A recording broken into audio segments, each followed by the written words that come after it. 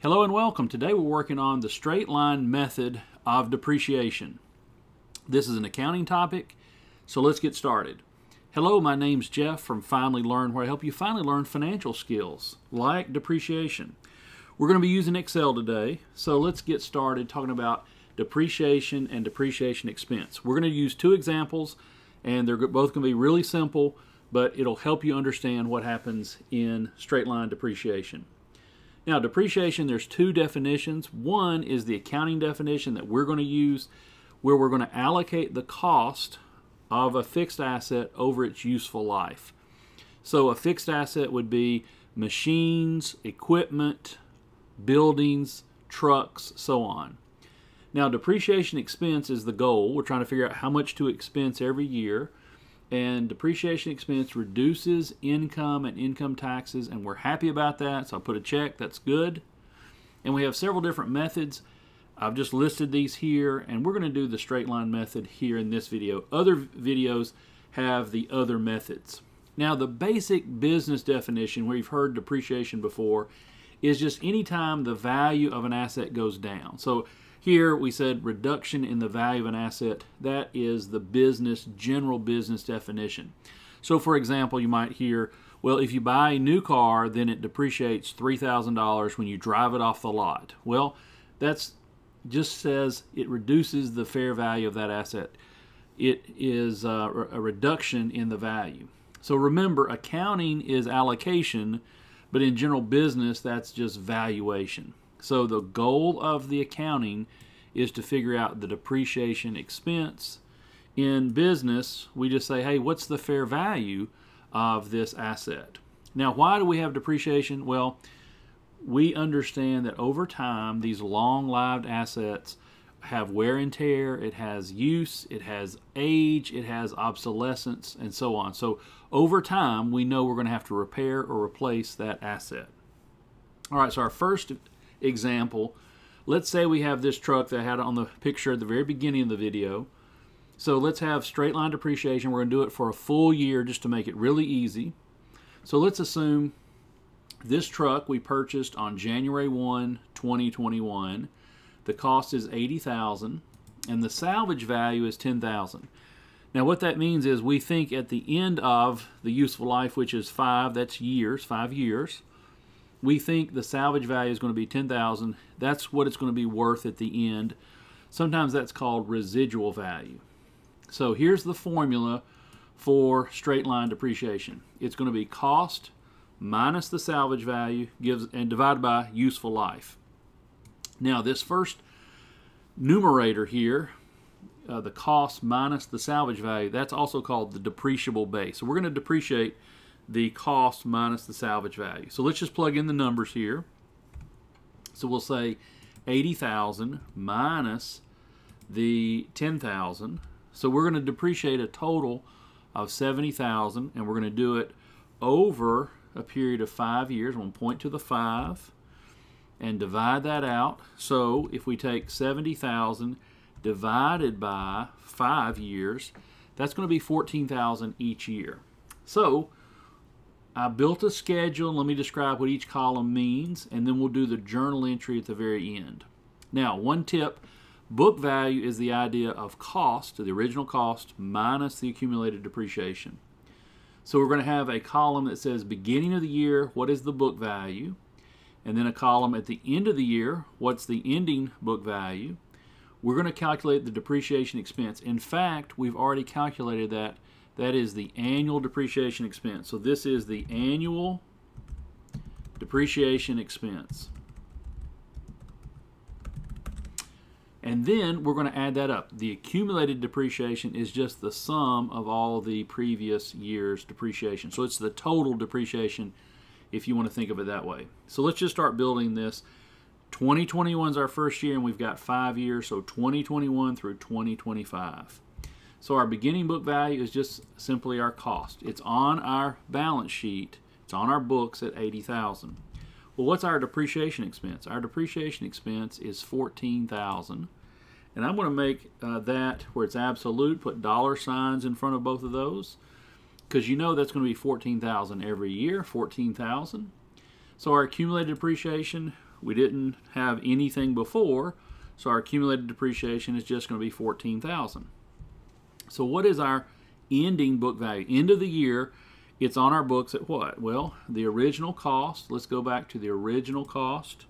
I'm going to make that absolute so I can copy that down, minus the accumulated depreciation. So I'm using this formula right here, book value is going to be the cost minus the accumulated depreciation. So after one year, what we have is 80,000 is our initial cost. We're going to depreciate 14,000.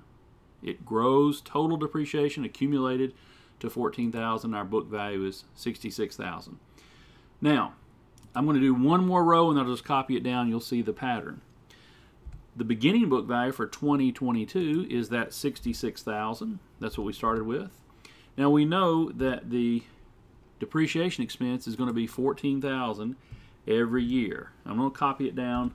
So I'm going to put those dollar signs where it makes an absolute. I can copy that 14,000 down. The accumulated depreciation now is the preceding 14 plus this year's 14. So that's going to be 28,000 and our book value is going to be the 80,000. Make it absolute here. Remember that's F4 minus the accumulated depreciation. So that's going to be 52,000. We should be able to copy it down. Let's just do one at a time.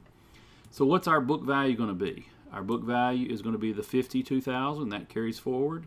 The depreciation expense we know is 14,000. The accumulated depreciation is 28 plus 14. That's 42. The book value should go down by 14 or 80,000 minus 42 gives us 38,000. So let's keep going. And I'm just going to copy the next two years because you see the pattern. So what happens is it's 14,000 every year. The book value is going down because our accumulated depreciation is going up. Our book value goes down to 10,000. Let's check the total depreciation expense. The total depreciation expense is going to be 70,000. I use the sum function. I in fact use the keyboard shortcut I'm on a Mac, so it's Command Shift T for auto sum.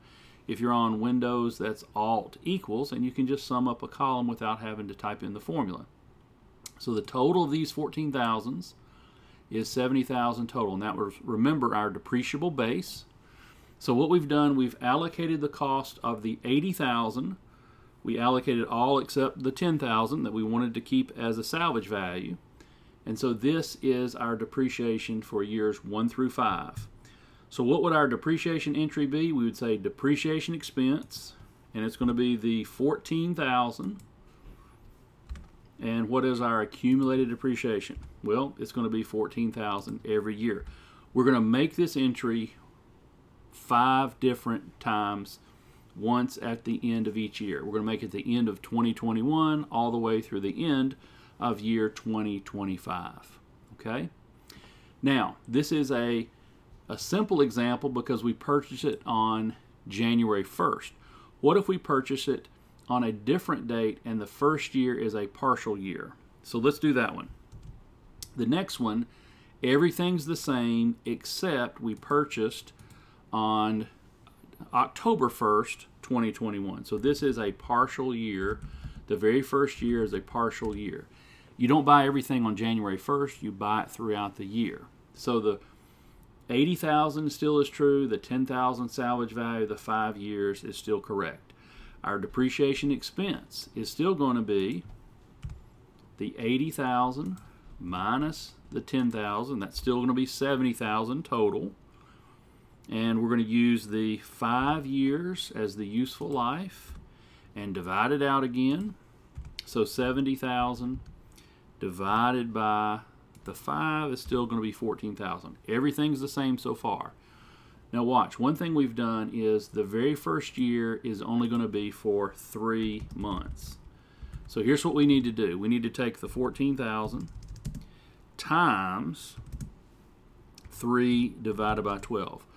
We need to allocate it only for three months. We'll multiply the 14,000, the annual amount. We'll take the 14,000 times 3 divided by 12. So that gives us 3,500. So what's our book value? Let's start here.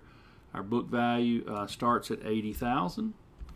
Our accumulated depreciation we know is going to be 3500 after year one.